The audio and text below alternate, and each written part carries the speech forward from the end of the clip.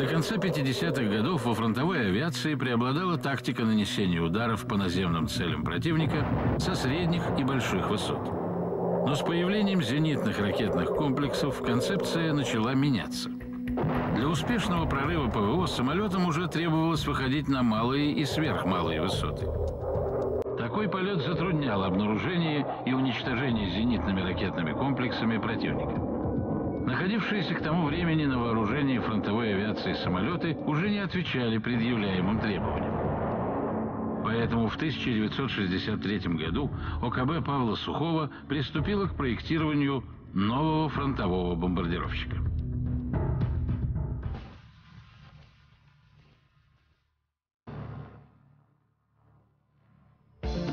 Основные требования военных к новому самолету сводились к следующему – полет и атака целей на малых и сверхмалых высотах и улучшение взлетно-посадочных характеристик. Первоначально для уменьшения дистанции взлета и посадки Сухой решил применить специальные подъемные двигатели.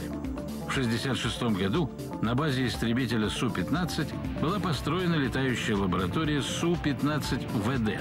На этой машине установили три дополнительных реактивных двигателя.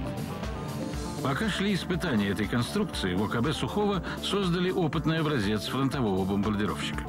Он назывался Т-61. Работами по созданию этой машины руководил главный конструктор Евгений Фельснер. Опытный самолет имел треугольное крыло и оснащался шестью двигателями. Два маршевых в хвостовой части и четыре подъемных в средней части фюзеляжа. В июле 67-го летчик Владимир Ильюшин поднял опытную машину в воздух.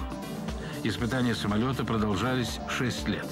Однако еще на раннем этапе этих испытаний Павел Сухой принял решение отказаться от подъемных двигателей и применить на боевой машине крыло изменяемой стреловидности. Его назначение заключается в следующем.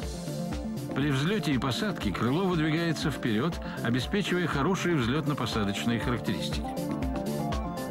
При выполнении задания на малых высотах с большой скоростью крыло устанавливается в положении максимальной стреловидности, создавая оптимальные условия для полета. Стоит отметить, что такая идея была не нова. Теоретические и практические разработки в этой области вели все ведущие авиационные государства. Но первый серийный самолет с крылом изменяемой стреловидности построили в США. Он назывался F-111. Впервые эту машину показали на парижском авиасалоне в 1967 году. Американский самолет оказал большое влияние на решение Сухого спроектировать фронтовой бомбардировщик с крылом изменяемой стреловидности. Новая советская машина вышла на испытание в январе 70-го. Она получила обозначение Т-62И. Самолет показал хорошие результаты как на взлете и посадке, так и в полетах с большой скоростью на малых высотах. Следующим шагом стало размещение на новой машине комплекса оборудования, без которого невозможно эффективное выполнение боевого задания. На самолете впервые в Советском Союзе вместо аналоговой установили цифровую прицельно-навигационную систему «Пума». Она включала в себя 13 подсистем, которые обеспечивали как уничтожение целей противника, так и безопасность полета. Также специальная аппаратура позволяла производить автоматический полет с огибанием рельефа местности на высоте 200 метров со скоростью 1320 км в час. Собственно, достижение таких характеристик и было одним из главных требований заказчика. Испытания машины и отработка прицельно-навигационной системы продолжались два года.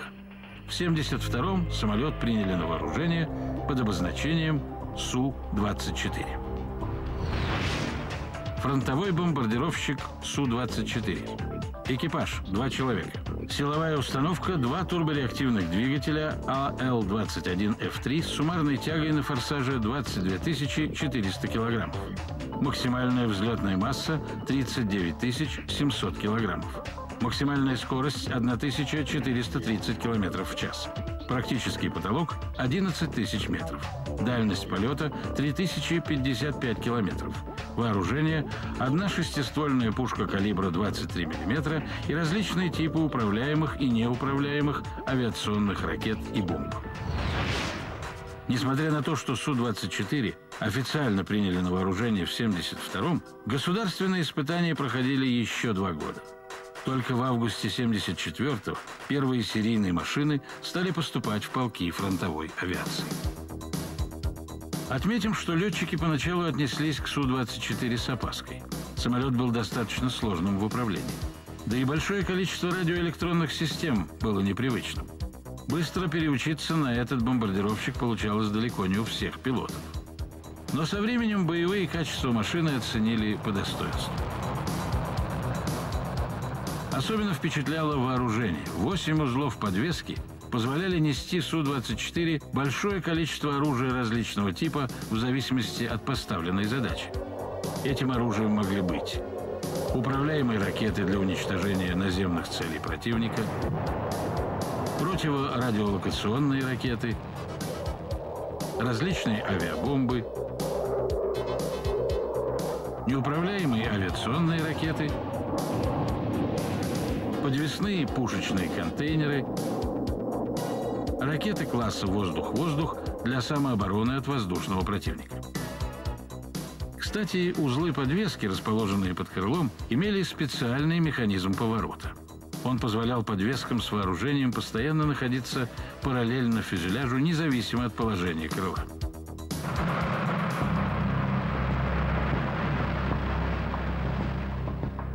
Экипаж самолета состоял из двух человек – летчика и штурмана.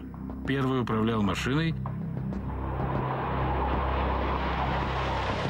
а второй работал с прицельно-навигационным комплексом.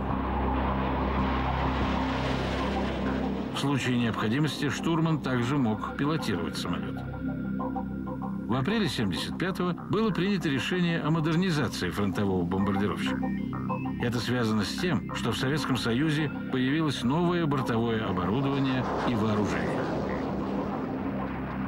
Опытный образец модернизированной машины совершил первый полет в 1977-м. А через два года в Новосибирске началось серийное производство новой модификации под обозначением Су-24М. Основное отличие от предшественника заключалось в замене прицельно-навигационного комплекса «Пума» на более совершенный и надежный. Он назывался «Тигр». «Тигр» значительно повысил точность бомбометания и стрельбы.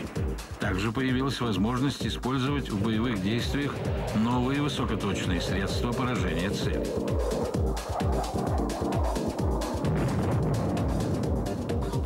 Помимо этого, бомбардировщик оснастили системой дозаправки топливом в полете. Су-24М стал первой машиной советской фронтовой авиации с такой системой. Убирающийся топливоприемник разместили перед фонарем кабины летчиков. Кстати, сам самолет тоже может выступать в качестве топливозаправщика. Для этого на него подвешивается специальный агрегат заправки. Боевое крещение бомбардировщики Су-24 получили в Афганистане. Операция с участием этих самолетов стала одной из самых крупных в афганской войне. Она проходила в 1984 году.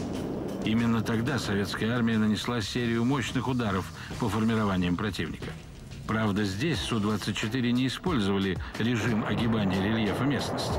Бомбовые удары наносились с высоты около пяти с половиной тысяч метров, недосягаемой для огня противника.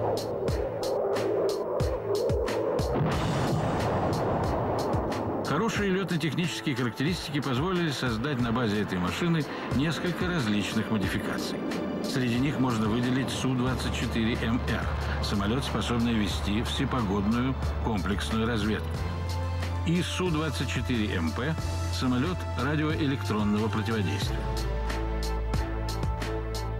Во второй половине 80-х под обозначением Су-24МК появился экспортный вариант машины. Он имеет упрощенное бортовое радиоэлектронное оборудование и вооружение. Серийное производство самолетов Су-24 всех модификаций было завершено в 1993 году. Всего построено около 1200 единиц. Но потенциал, заложенный при создании, позволяет эффективно использовать эти самолеты и сегодня.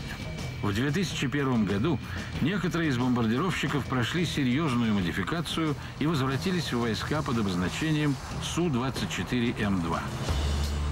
Благодаря новой навигационной системе самолет может осуществлять полет с огибанием рельефа местности на высоте до 30 метров и кратковременно выходить на высоту до 10 метров. Планируется, что Су-24 будут входить в состав ВВС и морской авиации России и в следующем десятилетии.